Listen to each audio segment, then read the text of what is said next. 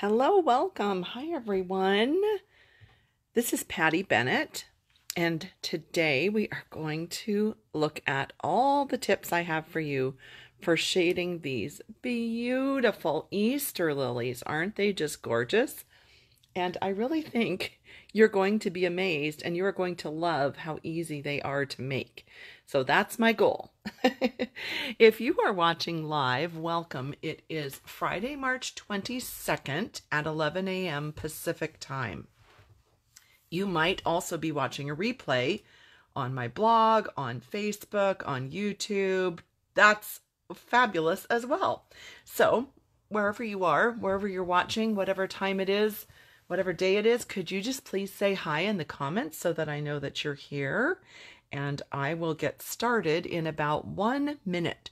So if you're watching live, you're going to see that live button up in the corner. But if you are watching a replay, please skip ahead just a little bit because you don't need to just sit through all of the hellos unless you want to. I mean, you're welcome to. We have fun here greeting everyone. Hey, Anne. Anne is all the way from Alaska joining us, and Christine is watching from Australia. Oh my goodness. Well, if we don't have like two opposite ends there, that's amazing, right? I love that.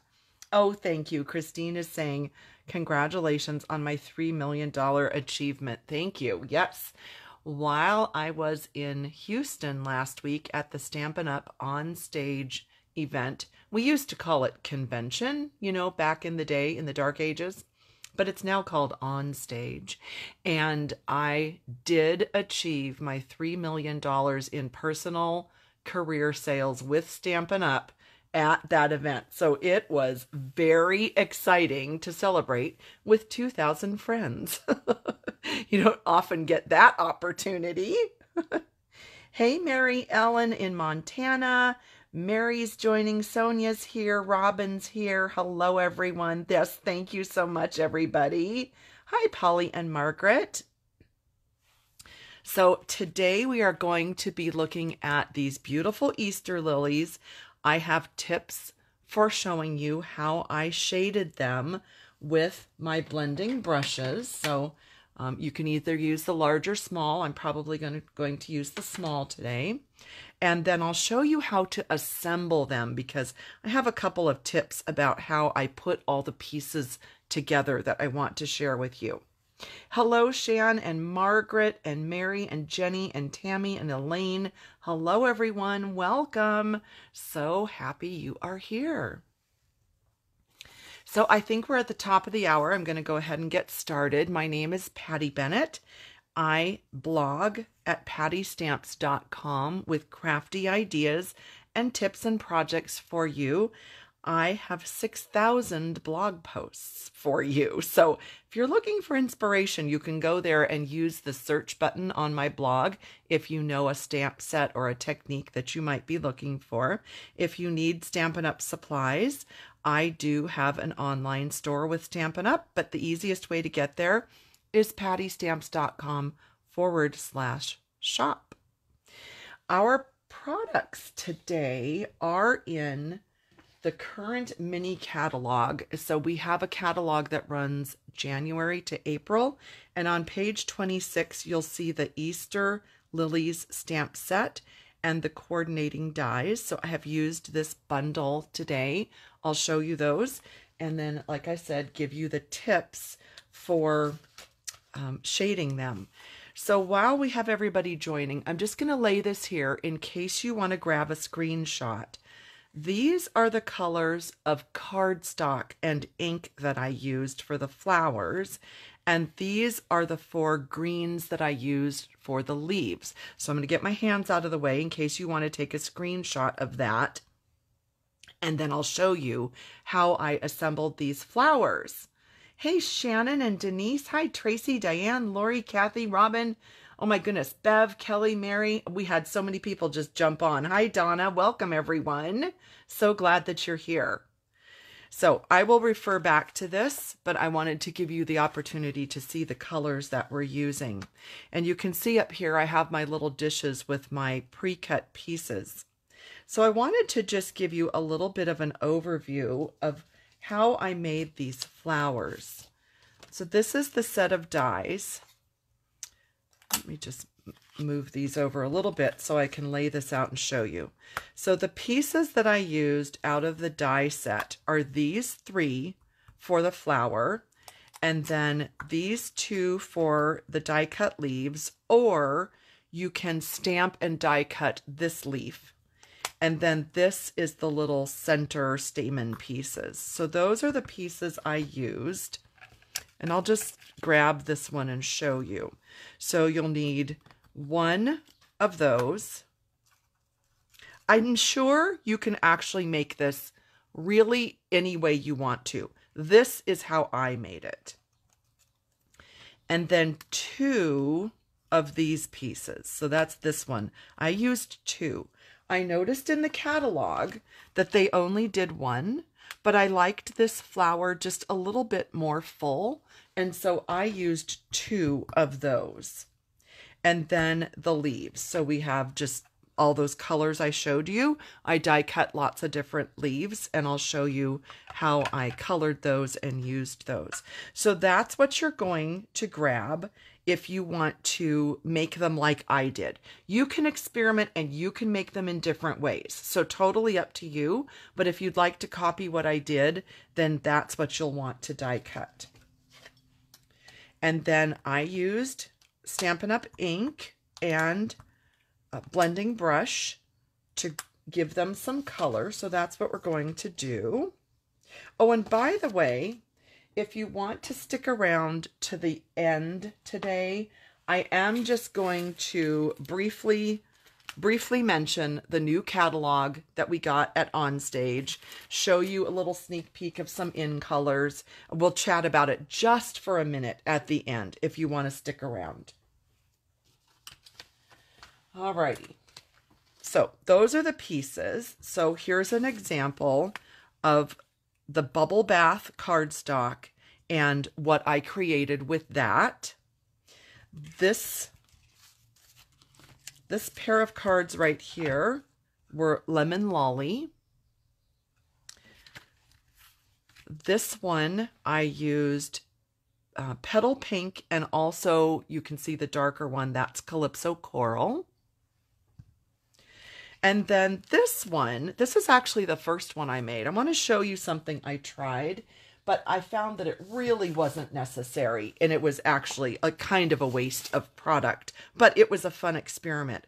I actually die cut those floral pieces out of these two cards. These are the Memories and More cards, and uh, they come with the envelopes.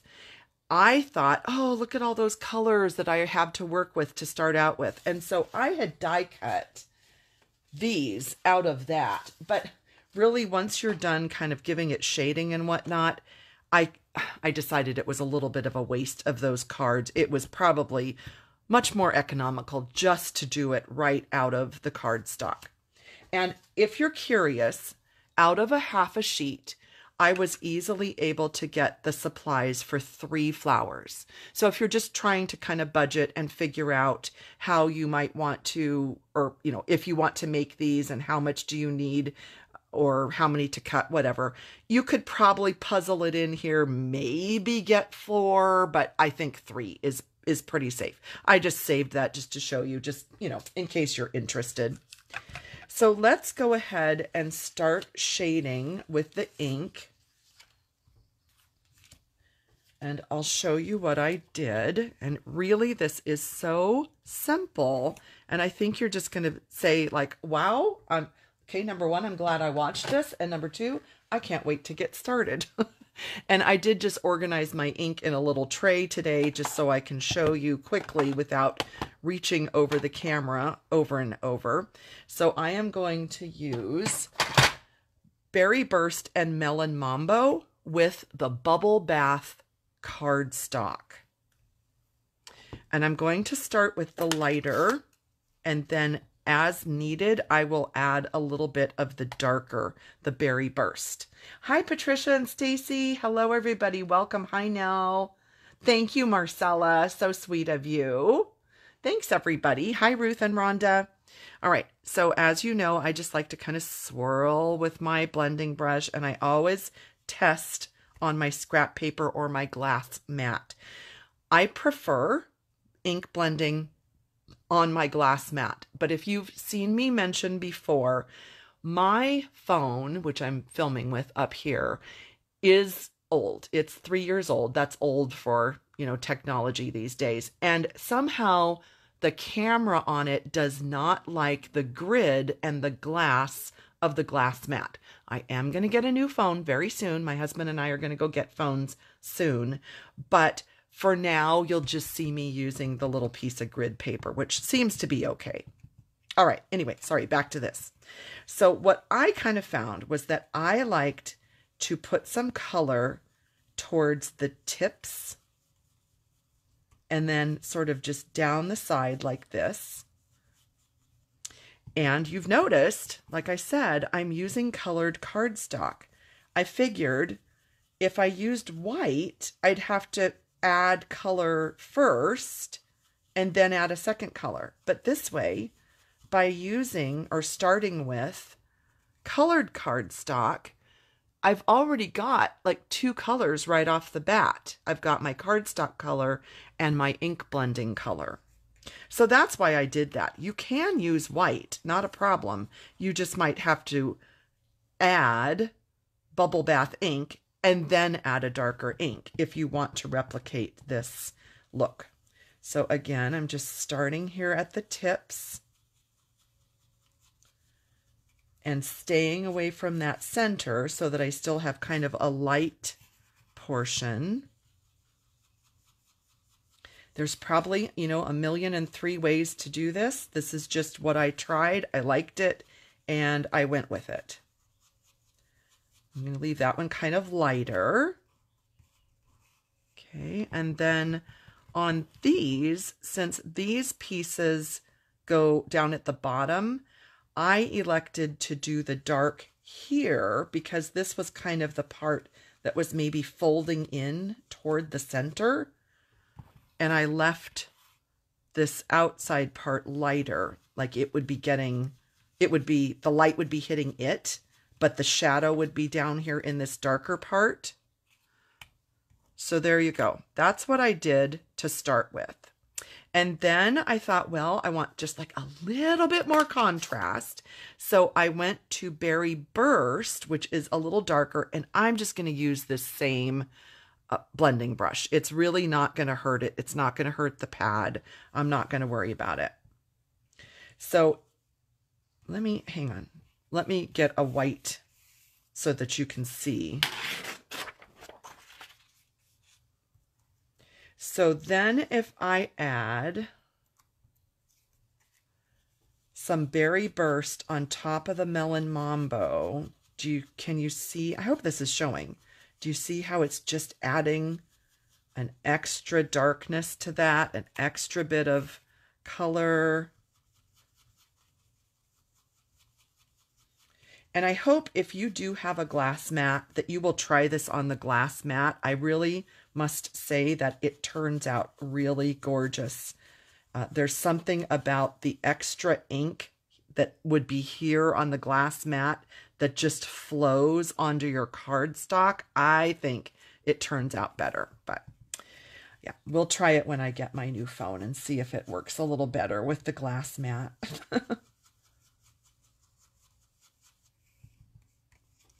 All right, so just a little bit there on the tips just to give it some extra extra. Okay, isn't that pretty? And I just love that starting with the bubble bath, I've already got that beautiful base and it saves me some time. Okay, so those are the pieces. Oh, thank you, Janet, for the congratulations. I appreciate it. Um, I don't think this bundle is carrying over. So this is going to be something that you're going to want to get soon.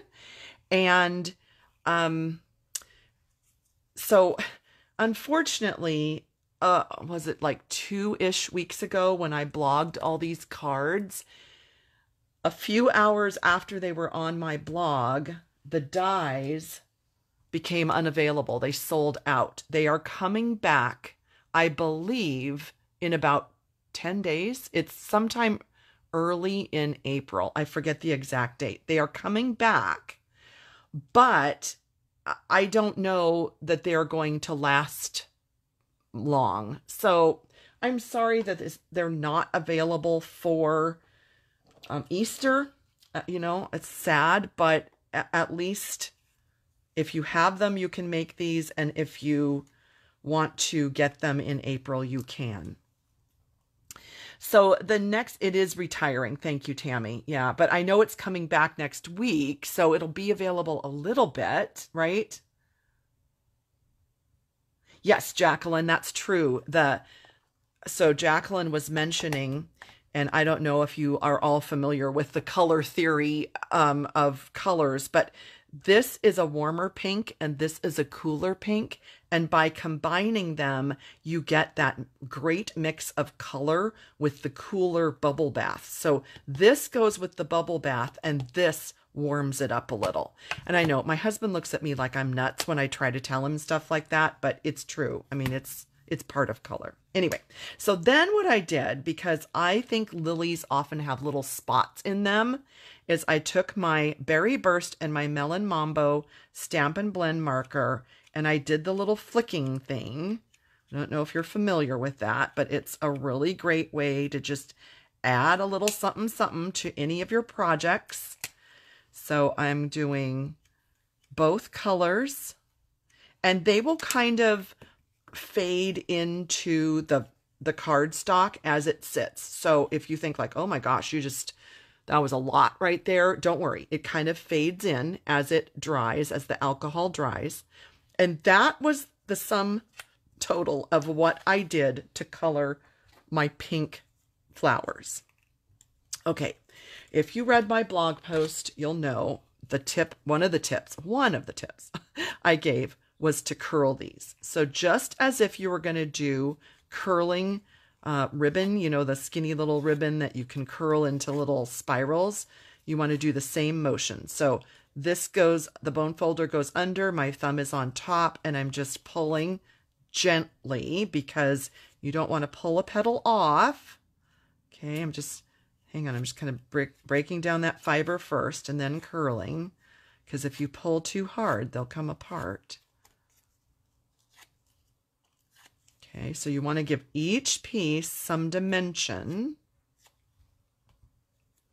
And then the way I built it was to put the the double, the two, the V, whatever you want to call this, down first and grabbed dimensionals. And I know you're gasping, what? She's not using foam adhesive sheets? Well, for this, it just worked great to do a dimensional on this little circly part and then you line up this little circly part right on top of it. So that's the first part. And you see how it's nice and dimensional? I love that. And then I added another dimensional on top of that same circly area. And I did one of these, I don't know, whatever they are, the smaller one, towards one direction. And then because I didn't want this like super thick, this would be really, really, really thick. I did not add another dimensional. I just added some glue. Oh, I forgot to put the the center these things in. Darn it. Shoot, shoot, shoot. I wasn't thinking. Um, so I think what I'll do is instead of pulling, well, I can pull this apart right? Do you think I can? If I just stick my pokey tool under there, I think we can get it apart. Okay. So gently. Okay. so don't forget your center part. You can do this in any color, any, you can color it with blends. You can color it with um, your blending brush. You can use colored cardstock, like whatever you want. On this one, I actually die cut it out of Lemon Lolly and I colored the tips with, um, I think it was the dark daffodil marker. You can do whatever you want. Now, I think in real life, and I really should have looked this up, I think that these things are usually either kind of a darker reddish or in the beginning when the flower is first coming out. Sometimes they're this greenish. So I'm just going to live on the edge there and I am going to make them green. Uh, you know, maybe that's a good thing or a bad thing, but this is my project and I can make it however I want. so now we'll go back to putting those two pieces on. There we go. Isn't that pretty? I think these are so gorgeous. I just love these. So let's color a couple of leaves. You've probably guessed already. You probably don't even need me to show you this, but I'm going to grab, let's see, how many colors? I know I did four, but that's three. Where's, oh, this one. There's the other color. There, those are the four colors I used. So if you missed the beginning, these are the colors I used for the flowers, and these are the colors I used for the leaves. No real rhyme or reason, you know, you just kind of do what floats your boat, what you like. You can do whatever you want. But I did basically the same thing where I just used my blending brush and added some extra color to the tip. This is Parakeet Party. You can do whatever you'd like.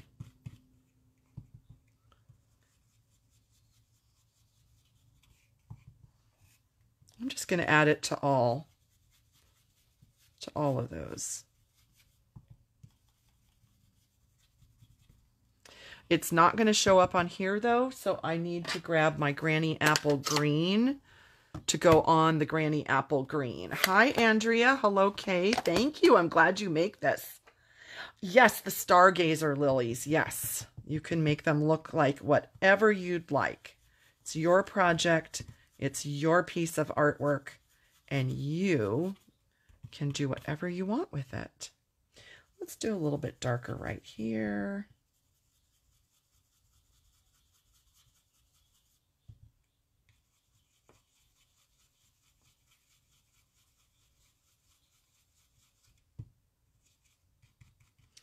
And then, just like I did with the lily, I used my green marker, Stampin' Blends marker, and I flicked some spots. I think that's probably going to be a little light for you to see. Let me grab my granny apple. Hopefully that, yeah, that'll show up for you. Just gave it a few speckles. So can you see those? They, they just have so much dimension now. They have several colors happening in there, just like in real life. And then they have a little bit of speckles.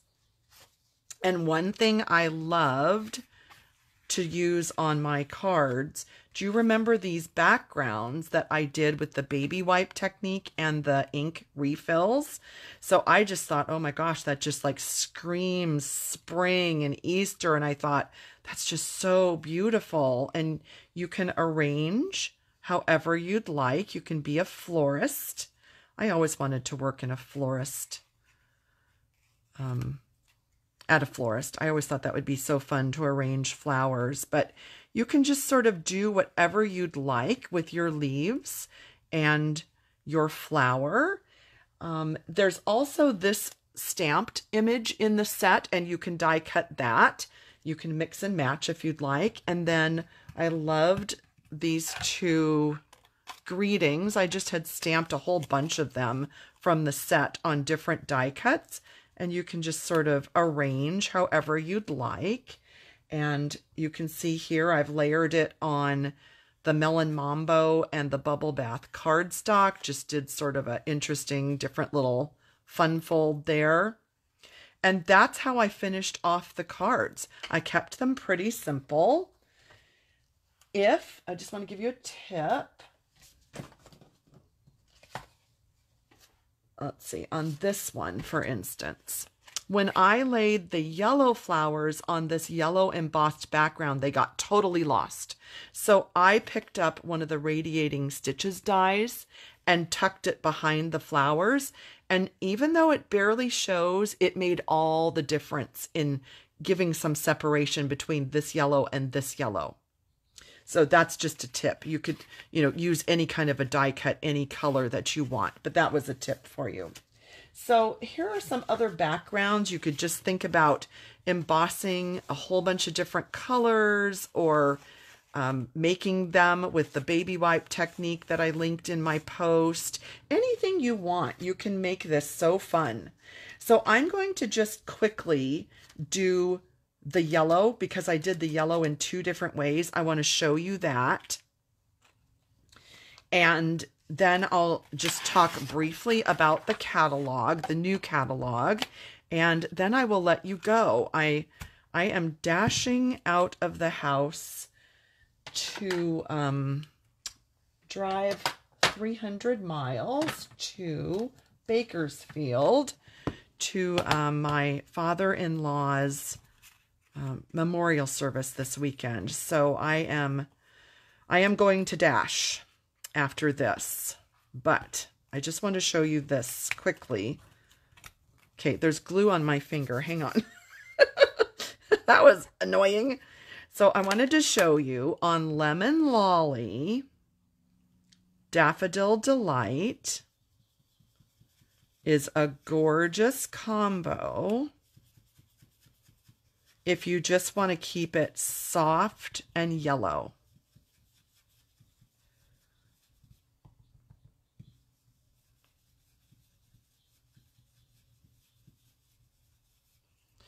So barely noticeable, but definitely gives some dimension to that.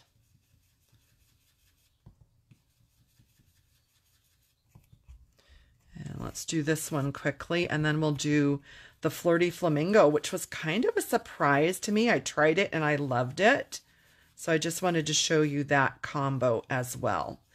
The fun thing about this is you can mix and match. You can do absolutely any color combos you'd like. You could do multiple colors. You can start with white or colored cardstock.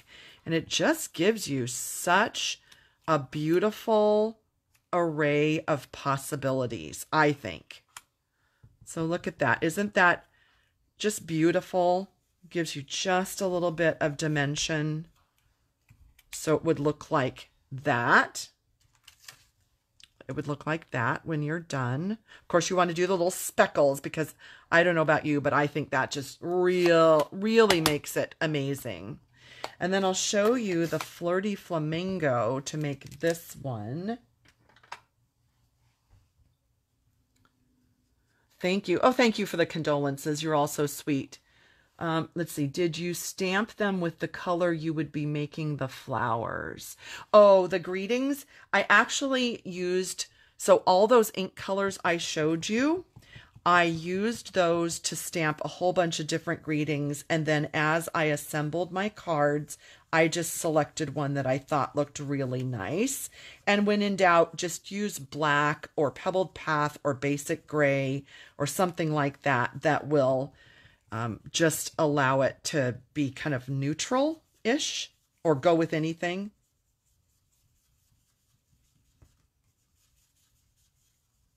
So this is Flirty Flamingo. Absolutely love how this looks. Flirty Flamingo and Poppy Parade are two of my very, very, very favorite colors. And then if you pair them with Parakeet Party, Oh my goodness, that just makes my heart happy. We call those patty colors around here. Look how pretty. Isn't this amazing? How this looks. So then we put that on top. Isn't that fun? Look at this. How easy is this? I hope that you're all saying, oh my goodness, really? It's this easy? Yes, it's this easy, my friends. Super duper easy.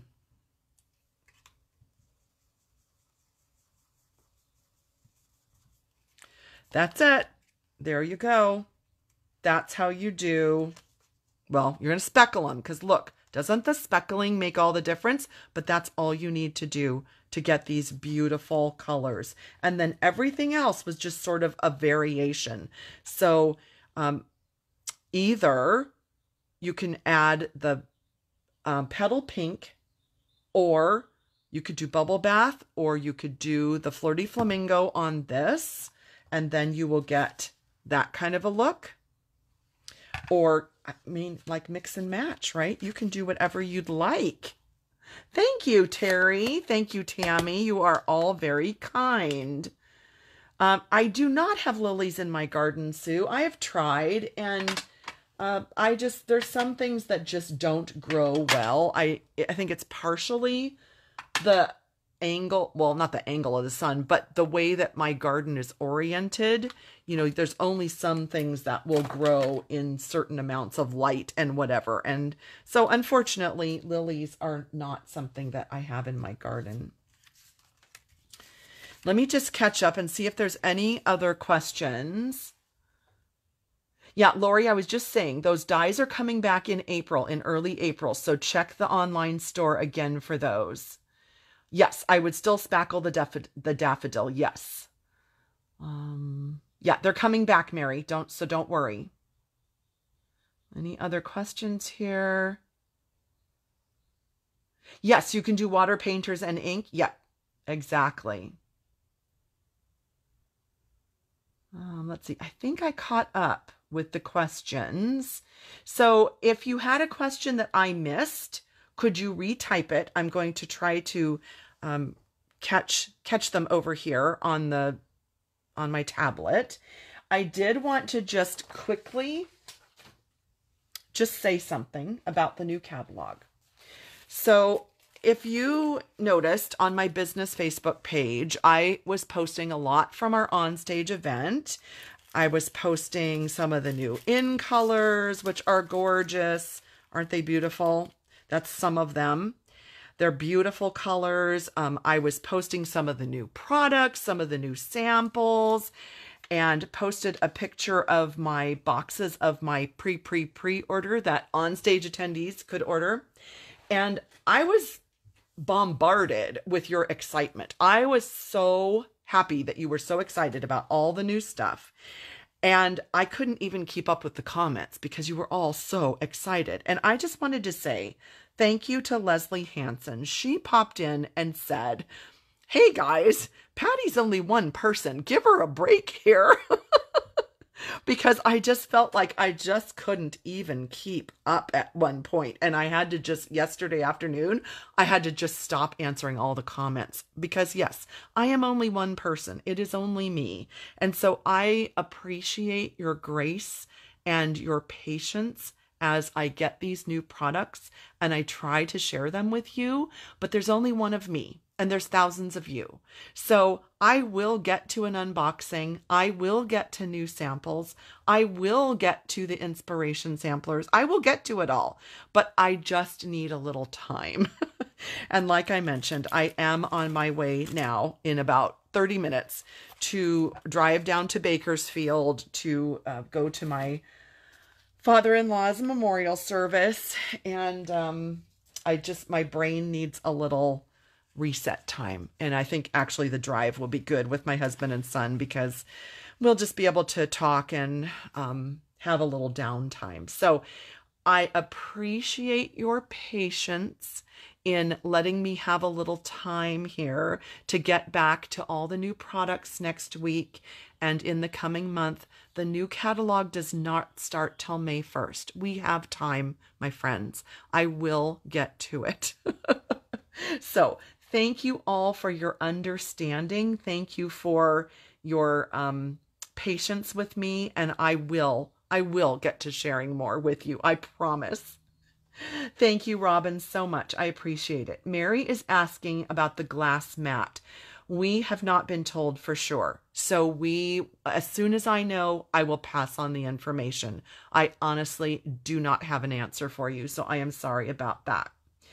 Thank you, Anne. She says, We know the new projects will be worth the wait. That is so sweet of you. thank you for your hugs. And thank you, everyone, everyone for your condolences. Um, Jane, that's funny. Uh, thank you again, everybody, for your sweet and kind words and your patience. I appreciate all of you. Um, I was thinking maybe I should train my house sitter to go online and to uh, reply to all your comments while I'm gone, but but um, no time for that. So I will. I will do it when I can. I will um, be thinking of all of you and I will get back to answering your questions as soon as I can. So, everybody, I hope you enjoyed this. If you want to see all the samples, I have everything and the supplies linked on my blog today. But as I said in my post today, I am so sorry that these dies became unavailable just hours after I posted these cards originally. I'm sorry, there was nothing I could do about that. They will be coming back in April. So I will post when they become available again and you'll be able to order them. But for right now, I'm sorry, you'll have to just hang tight and wait for those to become available. Well, I hope you all have a lovely weekend. I will see you back next week. I will try to have some new products to share with you and some fun things. Uh, probably what I'll do is do samples and a review of the new in colors because I'm really excited about those. They're gorgeous and I hope to share that with you next Friday. So thanks again and I will see you all next week. Bye everybody.